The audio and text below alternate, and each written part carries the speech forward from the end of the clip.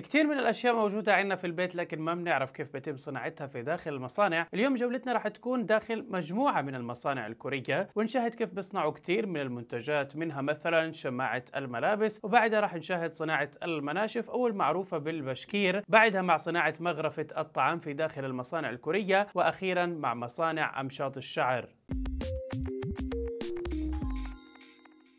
السلام عليكم أنا سامي مشتاق وبرحب فيكم. قبل أن نبدأ لا تنسوا لايك واشتراك بالقناة وتفعيل الجرس واكتبوا لي بالتعليقات عن شو حابين أعمل في الحلقات القادمة. خلونا نبدأ سريعا ونشاهد كيف بيتم صناعة شماعة الملابس. طبعا شماعة الملابس أو العلاقة اكتبوا لنا بالتعليقات شو بتسموها ببلدكم. باختلاف مسمياتها هي أداة على شكل أكتاف لتسهيل عملية تعليق الملابس سواء كانت معاطف أو قمصان أو بلوزة أو فستان بطريقة تمنع التجاعيد مع شريط أقل لتعليق السراويل أو التنانير. هناك ثلاثة أنواع أساسية من الشماعات. الأول هو شماعات الأسلاك والشماعات الخشبية والبلاستيكية. إحنا اليوم في مصنع الشماعات البلاستيكية. عملية صناعة شماعة الملابس البلاستيكية مش صعبة فالماكينة هي اللي بتقوم بكل شيء ببساطة وبسرعة. بتختلف ماكينات تصنيع الشماعات وبتختلف أسعارها بناء على معايير مختلفة ومنها الطاقة الإنتاجية في الساعة الواحدة وبلد المنشأ وسمك الخامات المستهلكة. لكن في المتوسط يمكن للمصنع شراء الماكينة الصينية التي تنتج حوالي 1600 إلى 2400 علاقة في الساعة الواحدة وتعمل على الكهرباء العادية ويتراوح أسعارها من 15 ألف دولار إلى 25 ألف.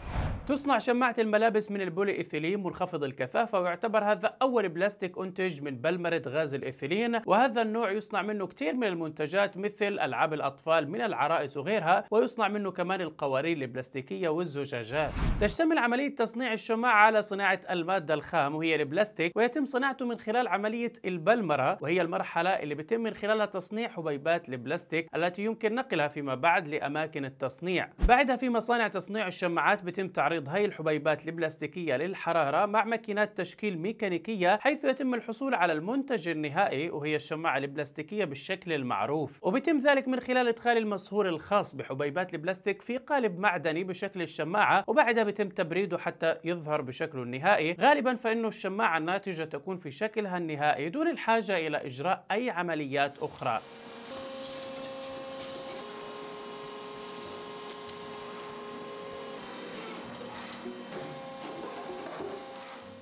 وننتقل سريعا ونشاهد كيف بتم صناعة المنشفة في كوريا. المنشفة أو البشكير أو الفوطة مسميات مختلفة لشيء واحد وعبارة عن قطعة قماش قطنية نافرة منسوجة بصورة خاصة جيدة لامتصاص الماء والرطوبة تستخدم في تنشيف وتجفيف اليدين والوجه والجسم بعد الغسيل. المنشفة تسمى أيضا بشكير وهي كلمة تركية الأصل وتعني قطعة من القماش كبيرة تستخدم بعد غسل اليدين وبعد الاستحمام. اكتبوا لنا بالتعليقات شو بتسموها ببلدكم. طبعا بتشتهر سوريا ومصر وتركيا وغيرها من الدول بتصنيع المناشف حيث تصنع من قبل نساجين حرفيين أو مصانع نسيج آلي كبيرة وتصنع المنشفة عادة من القطن الطبيعي ويشتهر القطن المصري بجودته وباستعماله في المنتوجات الفاخرة. وقد تم استحداث مؤخرا خيوط جديدة لصناعة المنشفة كخيط البامبو مثلا وهي نوع من العشب الذي ينمو في آسيا.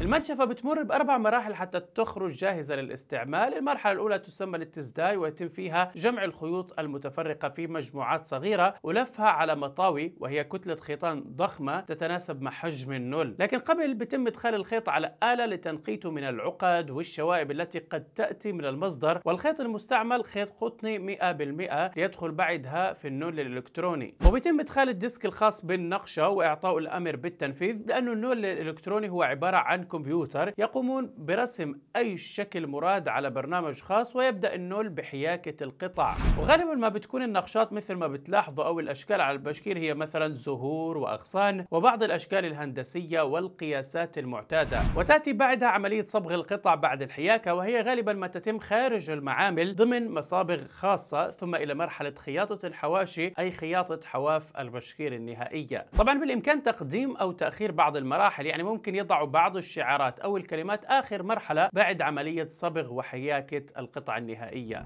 وننتقل ونشاهد كيف بتم صناعة مغرفة مغرفة الطعام. من المعروف أن المغرفة من أواني وأدوات المطبخ تشبه الملعقة إلا أنها تكبرها حجما بذراع أطول ووعاء أعمق وأكبر. من المعروف أنها تستخدم في نقل الأكل عادة من أواني أكل كبيرة إلى الأواني الصغيرة وهي الصحون. من المعروف أن تصنع المغرفة من عدة مواد فقد نجدها مثلا خشبية أو معدنية مصنوعة من الفضة أو القصدير أو الحديد أو حتى بلاستيكية أو حتى زجاجية. اليوم راح نشاهد كيف بتم صناعة المغارف المعدنية. أولا تأتي ألواح معدنية من الفولاذ المقاوم للصدأ إلى المصنع. وأول خطوة هو صناعة قضيب معدني له نهاية مربعة إلى مستطيلة ويتم ذلك من خلال ماكينات القص الآلية. بعدها بتم إزالة آثار القص وتنعيم القطعة المعدنية من خلال آلة التنعيم. بعدها يتم عمل فتحة المغرفة الصغيرة التي تستخدم لتعليق المغرفة في المطبخ مثلا وكل هذه الخطوات تنفذ بشكل يدوي من خلال العمال. بعدها إلى آلة القص التي تقص النهاية المربعة وتحولها على شكل دائري.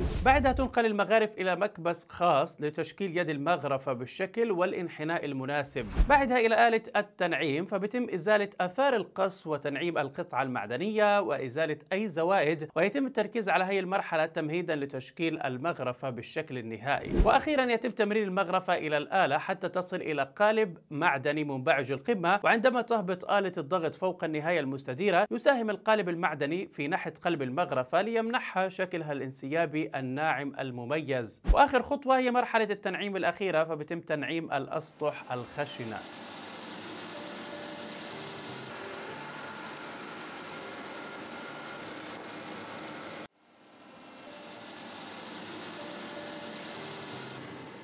خلونا ننتقل إلى مصانع المشط. المشط هو الأداة المعروفة للتجميل حيث تستعمل لتسريح شعر الرأس ظهر المشط مع الإنسان في العصر الحجري وكان مصنوع من عظام الحيوانات. حسب ما بتقول بعض الروايات أنه في العام 3500 قبل الميلاد اقتصر استعمال المشط على علية القوم بسبب التكاليف الباهظة اللي كانت تتطلبها عملية صناعة المشط. تتكون الأمشاط من عمود وأسنان موضوعة بزاوية عمودية على العمود. يمكن صنع الأمشاط من عدة مواد وغالبا ما تكون من البلاستيك أو الماء المعدن أو الخشب. كانت الأمشاط المصنوعة من العاج وصدف السلحفاة شائعة ومنتشرة في يوم من الأيام لكن المخاوف بشأن الحيوانات التي تنتجها قللت من استخدامها. هذا المصنع اللي بنعرضه هو مصنع كوري بيصنع أمشاط لف الشعر. لما بتكون الأمشاط مصنوعة من الخشب فإنها تصنع إلى حد كبير من خشب الكرز أو غيره من الأخشاب ذات الحبيبات الدقيقة. عادة ما تكون الأمشاط الخشبية عالية الجودة مصنوعة يدويا ومسخولة بشكل جيد. اليوم هناك مجموعة كبيرة من فرش الشعر تقريبا متخصصة حسب نوع الشعر السميك والناعم الملمس وما زالت بعض الأمشاط تصنع يدويا من الخشب والشعيرات المختارة بعناية مثل هذا المصنع اللي بيجمع بين الخشب والشعيرات والألمنيوم لإنتاج المشط.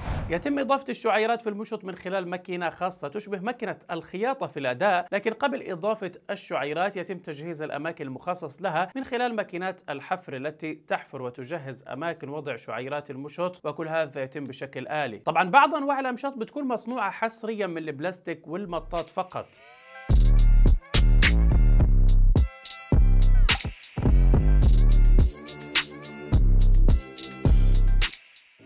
في الختام اكتبوا لي رأيكم بالتعليقات ولا تنسوا تدعمونا بلايك وتشتركوا بالقناة وتفعلوا الجرس واكتبوا لي شو حابين أعمل في الحلقات القادمة. وبهيك بحكي لكم إلى اللقاء.